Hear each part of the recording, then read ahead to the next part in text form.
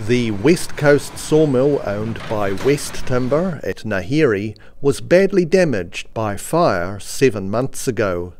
Today, the mill is back in full operation, employing almost 40 local workers.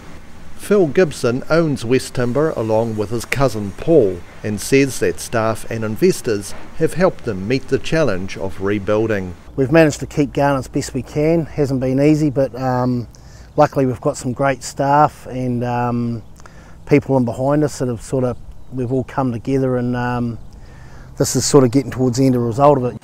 At this point, both the wood sorting table and a roof over it are just a temporary construction.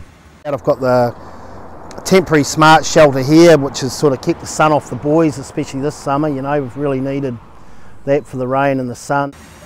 While most of the logs are supplied by Ngāi Tahu, none are native trees.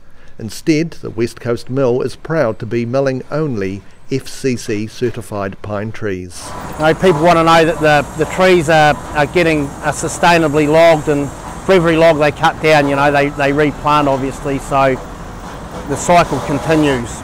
West Timber and their staff are certainly pleased that business is almost back to normal. Rudy Adrian, The South Today.